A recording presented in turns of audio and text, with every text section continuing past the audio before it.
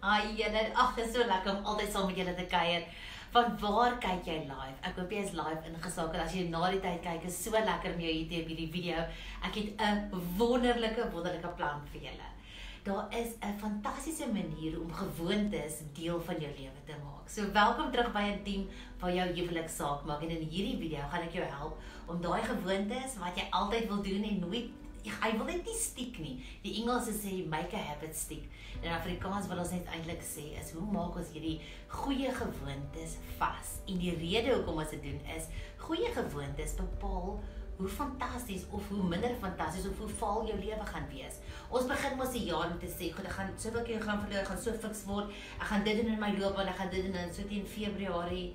Ek kan nie meer onthou wat jy gesê het nie. Jy is net so dankbaar daai vreeslike fase is verby. Maar daar is nog 69 dae tot 2020. So ek wil jou uitdaag vandag en vir jou vra, wat is 'n gewoonte wat jy wil vasmaak vir die nuwe jaar? Sodat wanneer jy in die nuwe jaar ingaan, dat jy klaar daar is. Dis klaar deel van jou lewe, klaar deel van jou asemhaal en ek het vir jou 'n manier om dit te doen. Nou ideaal, kies een vir jou huwelik ook. Is daar iets wat jy wil doen in jou huwelik wat jy nie gedoen het? 'n Gewoonte wat jy wil vasmaak. Dalk wil jy meer bid vir jou huwelik. Dalk wil jy 'n date night vasmaak, 'n goeie gewoonte van date night dalk wil jy 'n avontuur saam beplan.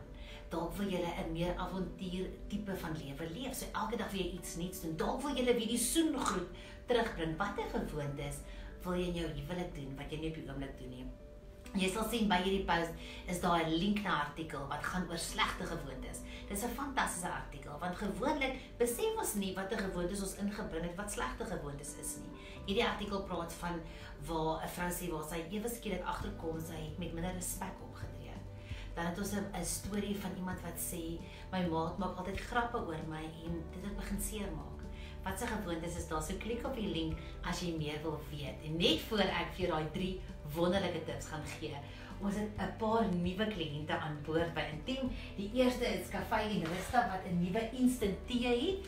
Julle Dis vrek lekker. As jy nou 'n haastige tipe mens is, is hierdie jou storie. Ek het hierdie nou oopgemaak. Dis rooibos tee se aansweeten. Hier's alles en as jy nou kampers is of jy's 'n on the go tipe persoon, daar's klaar jou rooibos en creamer is klaar daarin. Al wat jy nodig het is kookwater.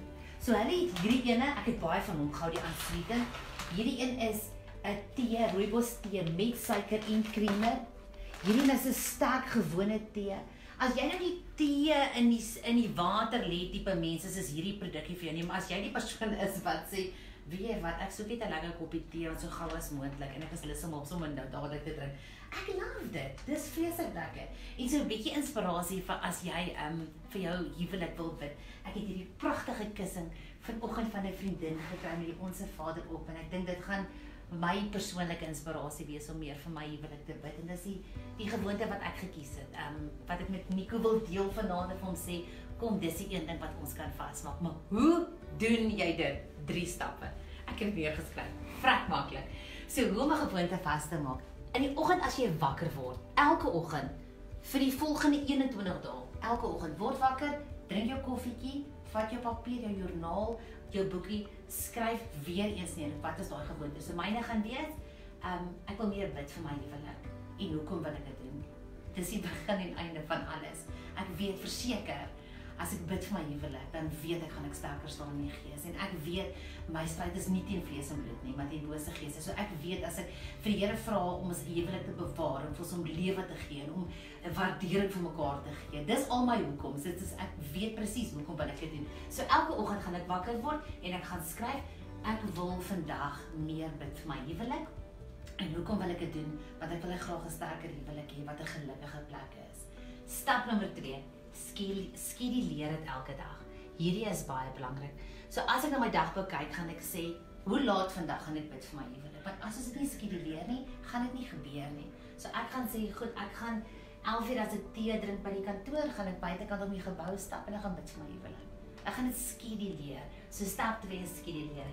En dan stap stap 3 is meet.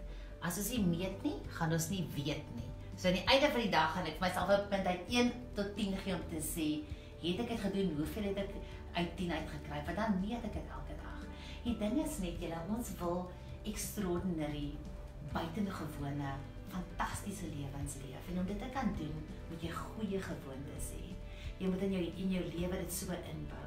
So, kom ek reken. Jou 3 maniere hoe jy dit regkry.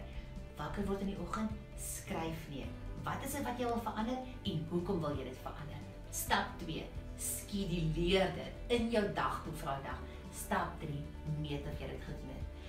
Doen dit vir 21 dae en kyk hoe jou lewe verander.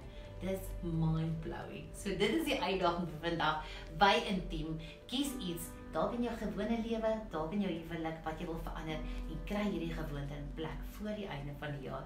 Die, die tyd wat jy sê 5 4 3 2 1 gelukkige nuwe jaar, is daar enetjie plan in sak.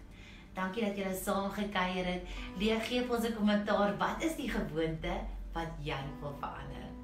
Ehm um, ek dink ook as ons dit neerskryf en hier op hierdie blad sê, dan is dit ook inspirasie vir ander.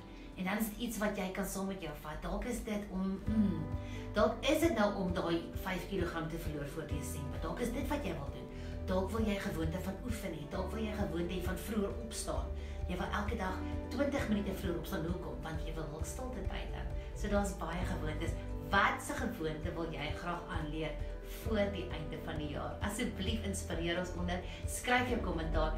Volg die stappe en onthou my artikel te gaan lees op Intiem. Watter slegte gewoontes is daar? Kyk of daar is nie huwelik. Um en maak hulle weg vir die einde van die jaar. Dankie dat julle saam gekuier het. Dit is altyd so lekker. Daar's op die webblad 100 goed wat jy kan ontdek. Oulike King Prize kompetisie, kry jou testament in plek. Daar's net 'n klomp goed artikels. Ag, dis 'n plek om tyd te spandeer en om goeie sade te saai.